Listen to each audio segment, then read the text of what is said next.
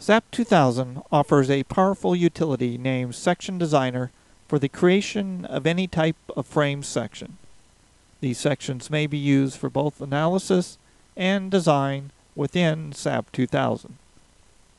The Section Designer utility is accessed through the Define Section Properties Frame Sections command. Clicking on the Add New Property button displays the Add Frame Section Property form.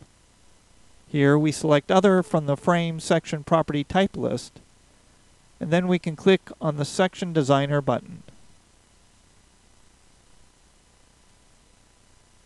The base material may consist of any previously defined material property, which identifies the type of design post-processors that will be available, as well as how the section properties will be reported. Selecting a concrete material and then concrete column indicates that the axial loads will be included and that a check or design will be performed. Next, we will activate the section designer. Within this utility, we have any number of ways to create different shapes, which may be combined into a single section for SAP 2000. There are various structural sections, typically associated with steel shapes, such as wide flanges and channels. Selecting a section and then clicking on the grid locates the centroid of the shape. A right click on the shape brings up the Shape Properties box, where the material, location, and size may all be edited.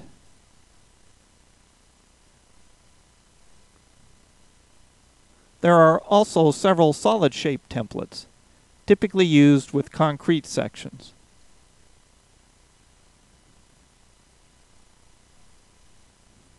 Again, a click on the grid locates the centroid, and a right click on the shape brings up the shape property box, whereby we can alter the material, location, size, and reinforcing if concrete.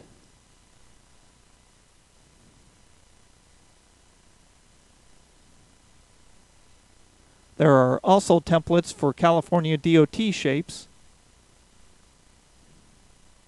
And lastly, the Draw Poly Shape command, where the user can draw a very arbitrary polygon. Again, this would typically be used for concrete sections.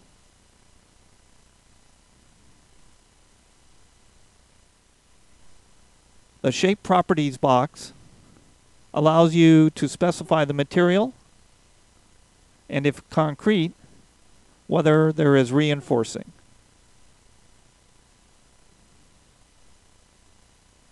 The Reshaper tool allows you to move a shape if you left click in the interior.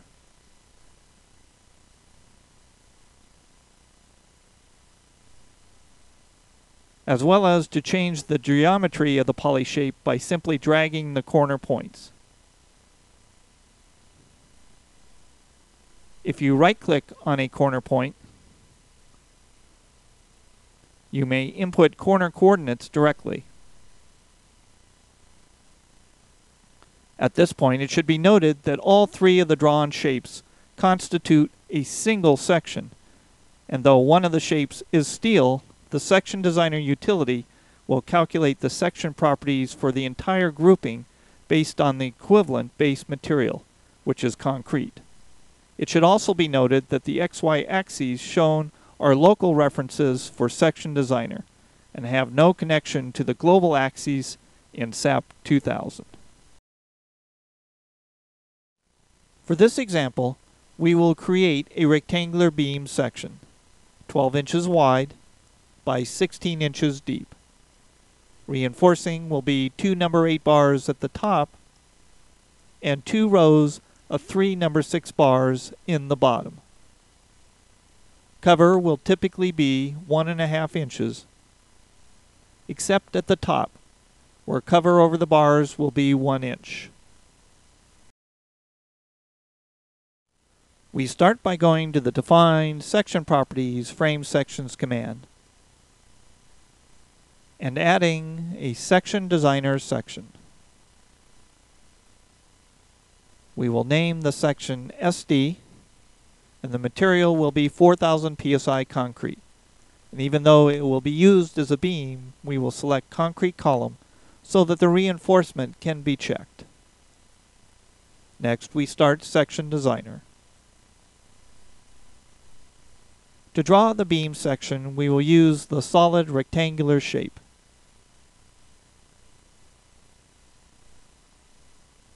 A right click brings up the Shape Properties Edit box where we can change the height to 16 inches, the width to 12, and ask for reinforcing.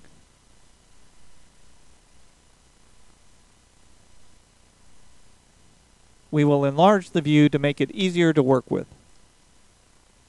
Section Designer considers reinforcing to be either edge bars or corner bars.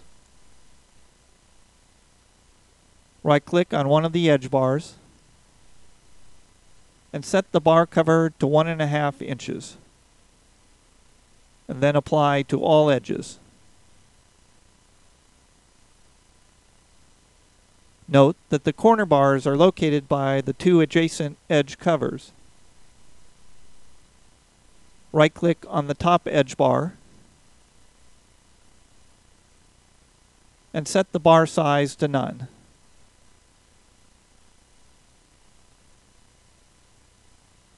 with a cover of 1 inch. Apply these changes to only this edge.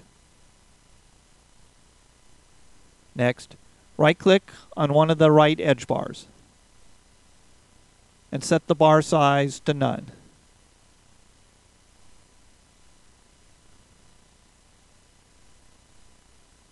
Repeat this step on the left edge bars.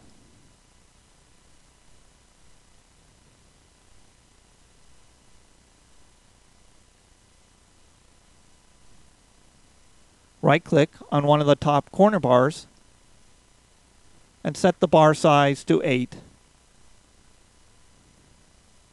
and apply to all corners.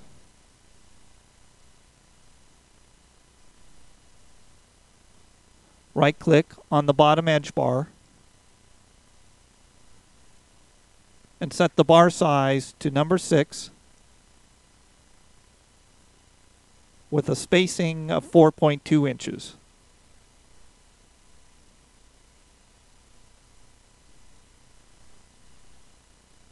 Next, right-click on the bottom corner bars and change their size to number 6 as well.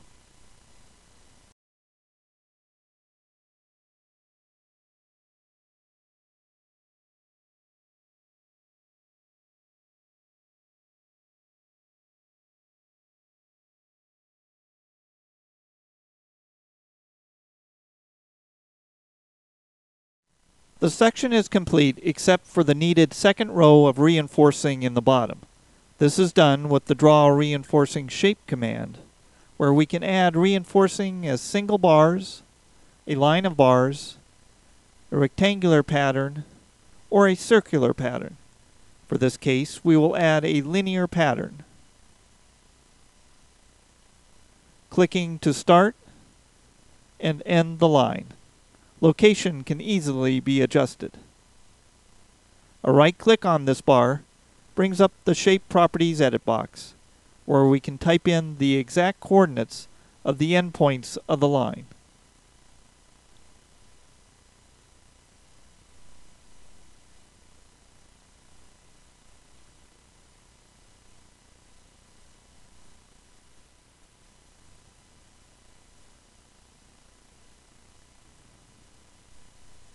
We will also change the bar spacing and size to match the row below and ask that end bars be included.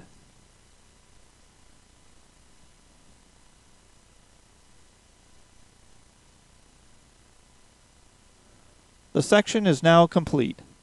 Under the Display menu, we can ask for the calculated section properties, including the area, moments of inertias, and all of the other generated properties.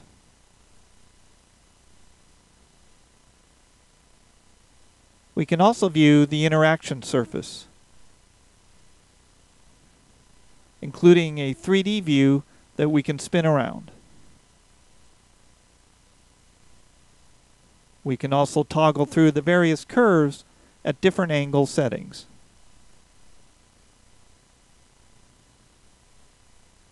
Section Designer also lets you view the moment curvature curve when you are doing reinforced concrete sections. You may pass the cursor over the curve for specific values.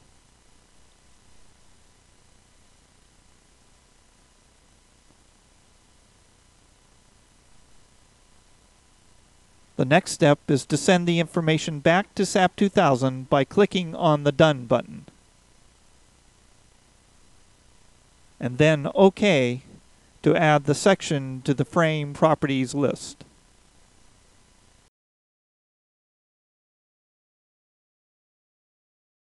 Next, we will assign the section designer section to the beams in our model.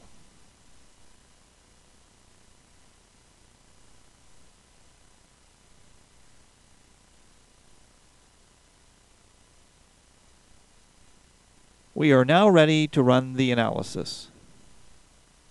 We will run the analysis with only a dead load case. This includes self-weight and other dead loads.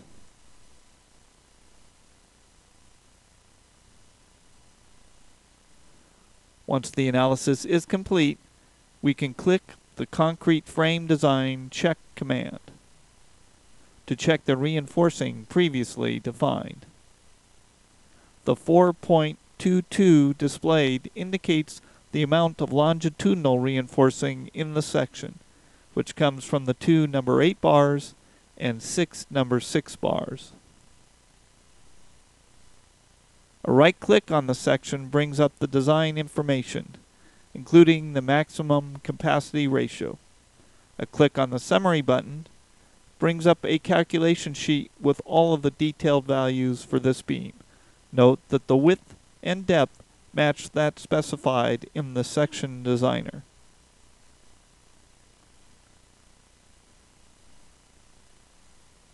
Design information is also available in a tabular format.